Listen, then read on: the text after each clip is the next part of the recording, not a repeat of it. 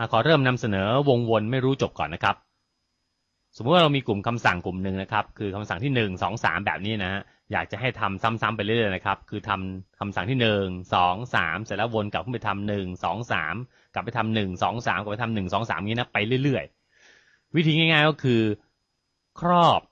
กลุ่มคำสั่งเนี่ยนะครับ ด้วยคำว่า while วงเล็บ true วงเล็บปิดนะครับ ปีกกาเปิด แล้วก็ปีกกาปิด ครอบแบบนี้ลงไปแหละครับ หลังจากทำคำสั่งที่หนึ่งเสร็จแล้วก็จะมาทำคำสั่งที่สองสองเสร็จแล้วก็ไปทำสามสามเสร็จแล้วก็จะกลับขึ้นไปทำหนึ่งแล้วก็กลับมาทำสองแล้วกลับมาทำสามเป็นแบบนี้แหละครับ ซ้ำๆไปเรื่อยๆนะตัวอย่างเช่น ผม public static void main นะครับ ผมมีคำสั่งสร้าง Windows นะขนาด 200 200 นะครับ แล้วก็ สุ่มค่าค่าหนึ่งขึ้นมานะครับ ระหว่าง 0 ถึง 1 นะแมทจุด random เนี่ยนะครับจะได้เลข 0 ถึงเกือบ 1 ใช่ไหมครับ0จนถึง 0.99 เนี่ยนะครับเรามาคูณได้200นะเพราะฉะนั้นผลลัพธ์ที่ได้ก็คือ 0 จนถึงเกือบเกือบ200 มาเก็บไว้ในตำแหน่ง x 1สุ่มอีกอันหนึ่งนะครับในทำนองเดียวกันเก็บไว้ตำแหน่ง y 1 นะครับแล้วก็หลากเส้นจากร้อยร้อยร้อยร้อยนี่ก็จะเป็นจุดกึ่งกลางของพื้นที่วินโดว์นะครับ เพราะวินโดว์เราสร้างไว้ 200 200 นะอันนี้ก็เป็นการลากเส้นจากจุดตรงกลางของวินโดว์ไปยังตำแหน่งปลายที่สร้างขึ้นมาแบบสุ่มๆนะครับ แล้วเราก็ทำเงี้ยวนซ้ำไปเรื่อยๆ ก็เอา y true มาครอบลงไปจบ เพียงแค่นี้เอง ก็มาดูครับว่าถ้าสั่งโปรแกรมนี้ทำงานนะครับ จะได้ผลอะไร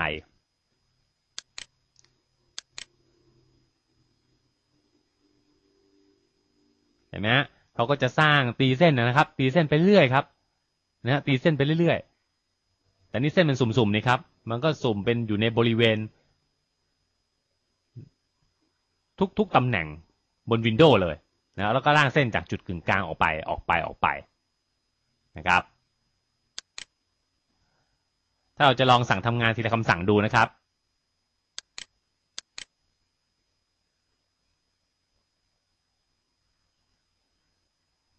นะครับอ่าหลังจากนั้นก็ผมสั่งทำงานนะครับ สร้าง Windows เสร็จแล้วนะครับ ขึ้นมาอย่างขึ้นมาแล้วนะครับนะ random สองค่านะครับ x 1 y 1แล้วก็ลากเส้นเห็นไหมฮะกลับขึ้นไปใหม่ random สองค่า x 1 y 1แล้วก็ลากเส้น กลับขึ้นไปใหม่ กลับขึ้นไปใหม่นะก็จะวนเงี้ยไปเรื่อยๆนะครับ แล้วก็จะสุ่มค่า x 1 y 1ซึ่งอยู่ในพื้นที่ระหว่าง0จนถึง200เนี่ยแหละครับเห็นไหมแล้วก็ลากเส้นไปเรื่อยครับ แต่เพื่อนตอนที่เราสั่งก็ทำงานทีละคำสั่งคำสั่งนะครับ มันก็ค่อยๆลากทีละเส้นทีละเส้นนะฮะถ้าปล่อยให้ทำเร็วๆก็จะเหมือนรูปเมื่อกี้นี้ครับอะแล้วถ้าอยากจะได้รูปนี้แหละครับ จะทำอย่างไรนะจะเป็นอย่างนี้นะครับ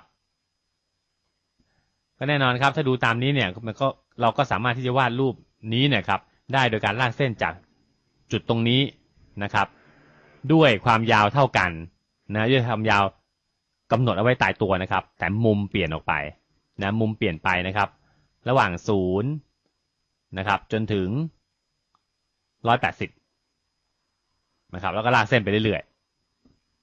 ๆ ก็กลับมาที่โปรแกรมเดิมนะครับอ่าผมเขียนไว้ก่อนเลยนะครับว่าตำแหน่ง x 0เนี่ย ก็ให้อยู่ที่กลางวินโดว์ก็แล้วกันนะครับ ส่วน y 0ก็ให้อยู่ที่ข้างล่างๆหน่อยนะครับ ล่างๆหน่อยก็เอาสักร้อยแปดสิบนะครับกำหนดให้ความยาวของเส้นที่เราจะวาดนะครับเอ่อ d นะครับก็ตั้งเป็นตัวแปรไปนะครับ d จะเอาสักเท่าไหร่ดีครับ เอาสักแปดสิบนะครับ ยาวแปดสิบนะครับเอาละแต่นี่ก็เริ่มลากเส้นนะครับแล้วก็สิ่งที่ภาระที่ต้องทำเนี่ยครับก็คือสุ่มเท่านั้นเองสุ่มมุมครับ นะงวดนี้มาสุ่มมุมนะมุมก็อยู่ระหว่างตั้งแต่ศูนย์จนถึงร้อยแปดสิบใช่ไหมครับเพราะฉะนั้นก็ร้อยแปดสิบคูณด้วยแมทจุดแรนดอมนะก็ได้ผลลัพธ์ตั้งแต่ศูนย์จนถึงเกือบเกือบร้อยแปดสิบนะครับหลังจากนั้นก็คำนวณ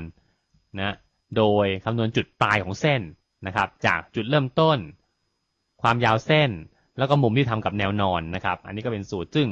เคยเขียนกันมาแล้วนะก็เป็นแมทจุด random เอ่อโทษทีครับ match จุด cosine นะครับถ้าเป็น cos นะครับอะแต่นี่มุมของเราใช่ไหมครับ ถ้าอย่างนี้เนื่องจากข้างบนเราเขียนมุมเป็นองศานะเราตีความว่า a เนี่ยคือองศาใช่ไหมครับ ตั้งแต่0จนถึง 180 องศานะเพราะฉะนั้นตรงนี้เราก็ต้องไปเรียก match จุด to radian ด้วยนะครับแล้วก็ส่งค่า a ไปเห็นนะครับ อีกครั้งหนึ่งทำกับกรณี y นะครับแต่ขอ copy คำสั่งมานะครับ ก็เป็น y นะดีและใช้ค่า sin นะครับ แล้วตรงนี้ติดลบ เรียบร้อยนะคำนวณจุดจุด x y แล้วนะครับ จุดเริ่มต้นนะครับ แล้วก็จุดปลาย x 1 x 2ซึ่งคำนวณจากความยาวเส้นกับมุม ซึ่งมุมนั้นได้จากจากการสุ่ม ส่วนความยาวเส้นก็ 80 ตลอด หลังจากนั้นเราก็เริ่มลากตั้งแต่ x 0 y 0ไปที่ x 1 y 1 นะครับอ่าลองสั่งทำงานครับ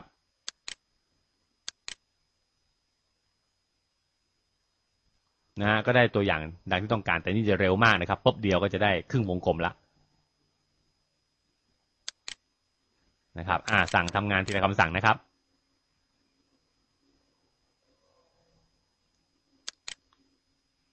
สร้างวินโดว์นะครับ เริ่มเข้ามาแล้วคำนวณค่า x 1กับ y 1นะครับลากเส้นหนึ่งเส้น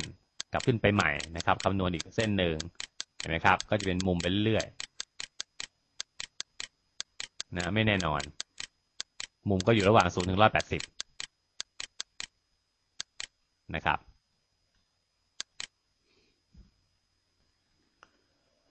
กลับมาที่โปรแกรมดัชนีมวลกายที่เราเคยเขียนเอาไว้นะครับ ครั้งที่แล้วเนี่ยเราเขียนไว้เนี่ยนะครับ โปรแกรมก็จะรอรับน้ำหนักความสูงแล้วก็คำนวณให้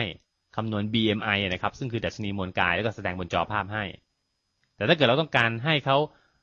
หลังจากคำนวณเสร็จแล้วเนี่ยเขาก็กลับขึ้นไปรอรับน้ำหนักส่วนสูงเพื่อที่จะคำนวณให้ใหม่คำนวณเสร็จปั๊บก็กลับขึ้นไปรอรับน้ำหนักส่วนสูงอีกไปเรื่อยๆนะครับ ก็เขียนโปรแกรมโดยใช้แนวคิดของวงวนไม่รู้จบแบบนี้แหละครับ ใส่เข้าไปนะครับ โดยการนะครับสร้างตัวอ่านใช่ไหมครับจากแป้นพิมพ์นะครับแน่นอนเราก็ต้องมีการ Import นะอย่าลืม อ่าแสดงน้ำหนักนะครับ รับน้ำหนัก แสดงส่วนสูงนะครับ รับส่วนสูงนะครับคำนวณส่วนสูงให้อยู่ในรูปของเอ่อเมตรซะก่อนนะครับ แล้วคำนวณค่า BMI แสดงออกจอภาพให้ผู้ใช้ ก็เพียงเท่านี้ อันนี้คือทำหนึ่งรอบ อยากทำหลายรอบ หรือไม่ก็อยากจะทำไปเรื่อยๆนะครับ ก็ใส่ y true ครอบลงไป